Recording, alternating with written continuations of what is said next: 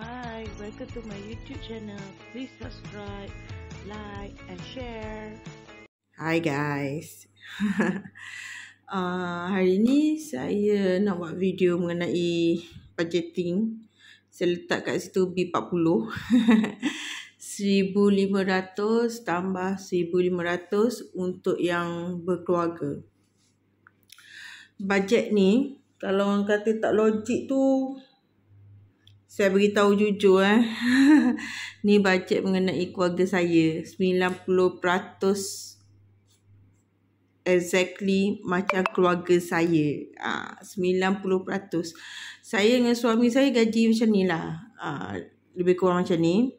Dan kita orang ada passive income. Passive income maksud, maksudnya saya ada niaga juga. Niaga, panggil apa, part time. Kat Shopee. Uh, COD lah, benda macam tu. Suami saya pun ada dia punya passive income uh, kerja lain selain daripada kerja uh, kita yang sebenarnya lah hariannya lah. So untuk uh, saya cakap jujur untuk uh, yang 1500 maksudnya 3000 lah per keluarga tu sakit untuk awak macam apa nak nak manage lah. Tapi yang ni saya buat saya tunjuk uh, 90% daripada uh, gaji kita orang means yang uh, 10% tu saya punya passive income. Hmm, macam tu lebih kurang lah. Uh, 10% ke 20% sebab passive income ni dia tak sama tau. Dia macam OT kan. Kalau you all tengok kan. Sekarang ni kalau ada OT lebih dan banyaklah pendapatan keluarga kami. Kalau tak ada OT, tak adalah yang basic ni lah macam tu. Sama juga dengan passive income tu kalau saya berniaga tu okay ada orang beli ada apa macam pendapatan lebih tu adalah lebih. Ah macam tu. Tapi yang basic macam ni. Kalau you all kata tak logik macam saya cakap lah tak logik tapi ni keluarga saya. Lalui yang saya planning untuk keluarga saya daripada saya mula berkahwin dulu Sampailah sekarang. Mula saya berkahwin dulu saya kena buang kerja tau. Kena buang kerja.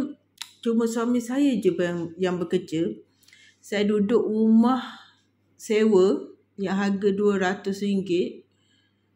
Yang kalau awak naik tangga dia, dia bunyi rumah papan lah, rumah kayu dah nak runtuh rasanya macam tu. Kalau macam dekat kita orang uh, apa dekat dia punya kalau rumah batu tu dia panggil balkoni kan. Kita kalau orang kampung kita orang panggil kat Tengganu ni panggil apa? Lambu. Lambu tu macam satu macam kita naik tangga sebelum jumpa pintu uh, pintu rumah tu dia ada satu kawasan yang kita boleh duduk santai tu yang biasa petang-petang kita rehat-rehat ah bahagian depan tu. Biasanya kat situlah uh, dia bunyi kalau you on naik tangga tu macam nak runtuh tau. Uh, rumah tu yang saya duduk. Masa saya memula kahwin dulu. Uh, makan semua memang saya bajet macam tu. Bajet macam ni lah. Uh, yang ni ni yang latest macam cara keluarga saya budget. Ah, kalau rasa tak logik saya tak tahulah mungkin hidup saya tak logik kot. macam itulah. Sebab untuk menyimpan kita kena korban banyak benda. Sebab untuk masa depan anak-anak juga. Bukan masa depan kita je, masa depan anak-anak juga. Dan kita uh, buat ada orang dia dia ada apa?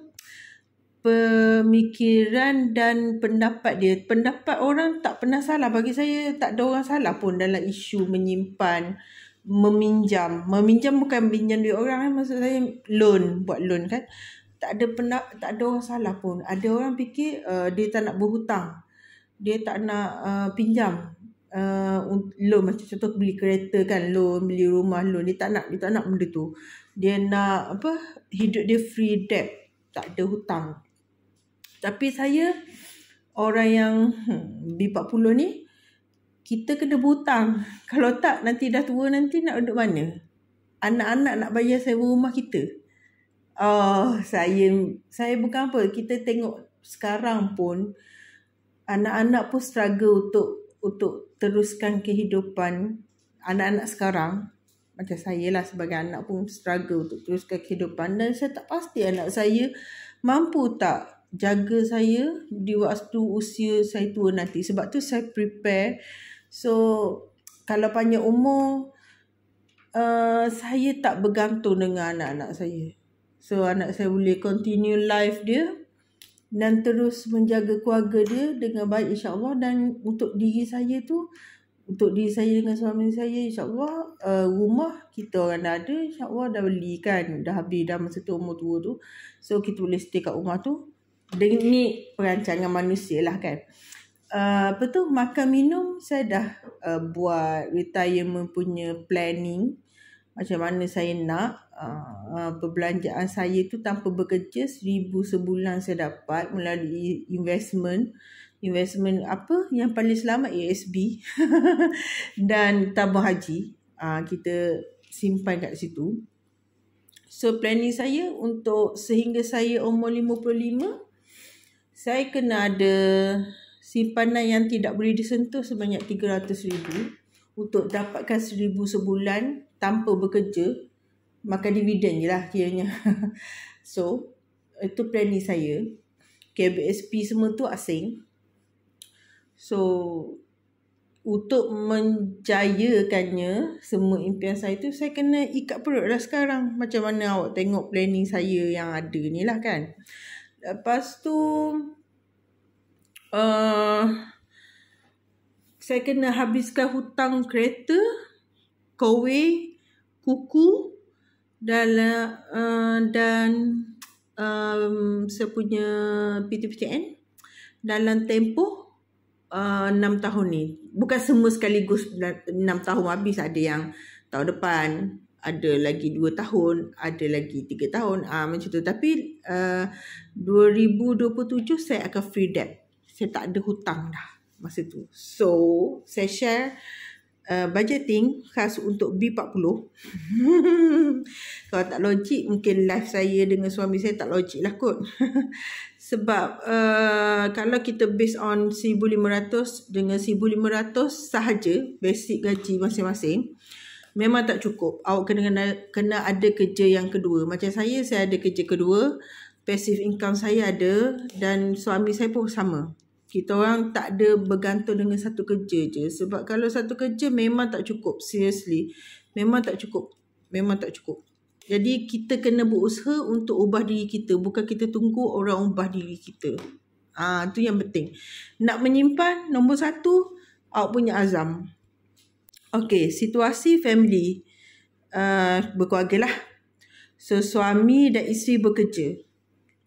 Kedua-dua gaji minimum lah. RM1,500, ni basic. Uh, matlamat ingin menyimpan tu kena ada. Uh, apa tu, kita punya semangat tu uh, wajib. Kalau nak menyimpan kena ada uh, semangat. Anak ada dua. Dua tahun dan enam tahun. Teknik uh, menyimpan. Teknik menyimpan 80 10 10 80 untuk sara hidup makan minum semua keperluan. 10 entertainment 10 saving. Uh, dan saving tu kita fokus dekat tabung haji dan TH uh, uh, da, sorry ASB dan TH uh, tabung haji. Uh, and then uh, macam saya katalah mas ni kena cari pendapatan kedua. Kalau sependapatan pertama tu tak cukup dan tak ada passive income, buat pendapatan kedua, kerja kerja yang kedua lah maksudnya. Ha, kita kena banyak berkorban lah sebab kita ni gaji rendah kan. So kos hari hidup 80% daripada gaji basic ni 2400. So makan 500. Memang saya uh, awak boleh fikirlah kita makan macam mana. Sebulan kos 500 je. Awak fikirlah kita orang makan macam mana. Apa yang kita orang makan. Memang basic sangat. Tapi janji kenyang. Uh, macam tu.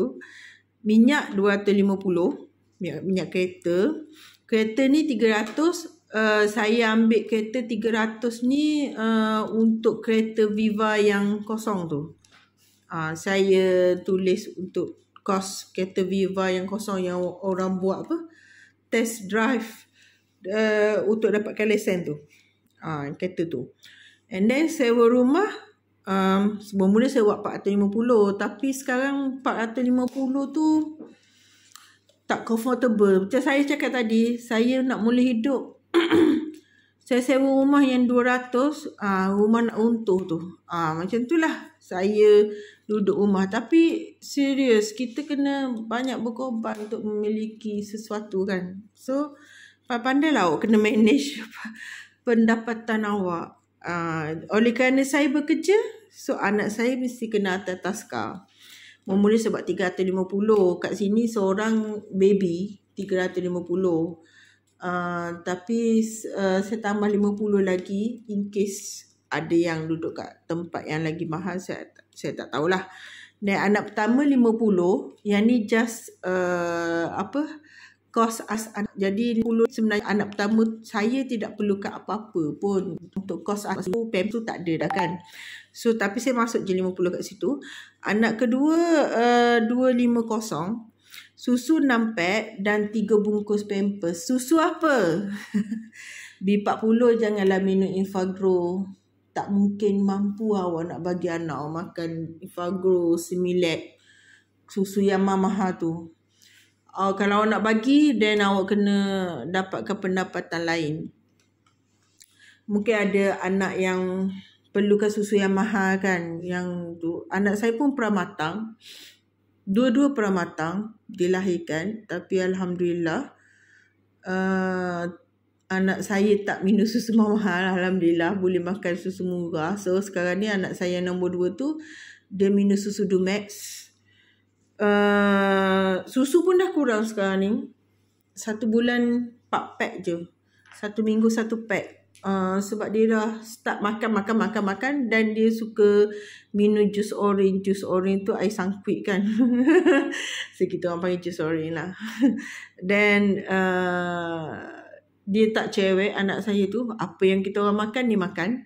Kecuali yang sulung saya dia banyak makan dia tak makan nasi so dia macam makan lauk uh, dia dan kita dan kuitiau macam tu uh, jadi saya mengenyangkan anak saya dengan makan mi dan kuitiau dan apa yang disuka tu uh, untuk yang sulung yang nombor dua dia makan sama dengan apa yang kita makan lah and then saya tetap letak sedekah sedekah ni kan uh, punca rezeki awak masuk tau jadi sedekah tu wajib ada.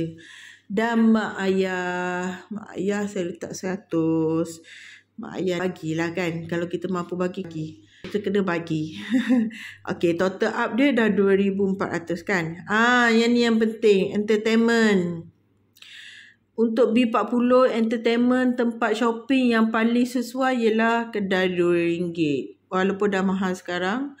Tapi dia masih dalam golongan kedai yang murah. So, saya tulis kat situ Eco Shop 100. Yang ni untuk release stress awak nak beli pinggan ke, nak beli apa ke kan. Ah ha, 100 bawang ke. Ah ha, situ sekarang ni kedai RM2 dah ada barang dapur kan. Ah ha, macam tu. Lepas tu self care tu sabun mandi ke, uh, obat gigi ke ah macam tu. Kat situ 100 tapi tu dah lebih tau. Sebenarnya 200 ni dah lebih dia boleh beli benda lain.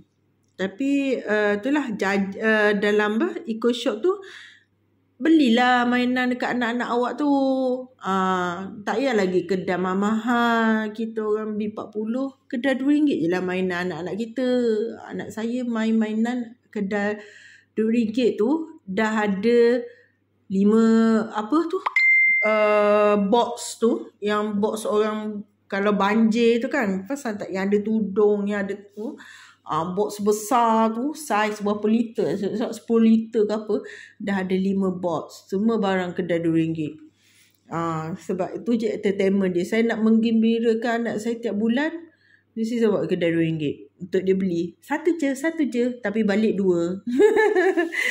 uh, itulah jajan pun saya beli kat Iko juga. Macam ada air ke uh, snack ke apa yang dia dia perlukan sebulan tu kita beli sikit-sikit. Dan McD. Dulu kerap juga tapi sekarang dah kurang. Kita kurangkan sebab barang dapur dah mahal. So kita akan belanja dia sebulan sekali McD Dampak yang paling penting, saving. Saving. saving 10%, RM300. Masuk dekat ASB, 300 kali 12, 3,600 tahun tanpa dividen. Kita buat contoh 5 tahun, kita tak sentuh, ambil, tak ambil eh, dividen, kita biar je kat dalam tu 5 tahun. Maksimum kita akan dapat simpanan sebanyak 18,000 daripada mustahil. Out banyak kawan orang cakap, ya aku tak mampu simpan, aku tak boleh simpan, aku tak mungkin boleh simpan, mustahil. Awak dah ada RM18,000 dalam bank dalam masa 5 tahun. Uh, bukan dalam bank eh, dalam ASB lah. Sebab dalam bank itu mustahil, saya pun mustahil. Sebab apa saya tak simpan duit dalam bank? Sebab saya pasti ambil. Tips tak nak duit tabung tu ke mana-mana, ke mana-mana. Dan macam apa, Abah cakap, Cik Abah. Tasimu Yudin cakap apa? Uh, ke mana-mana, apa lagu eh, masa PKP tu. Uh, uh, macam itulah.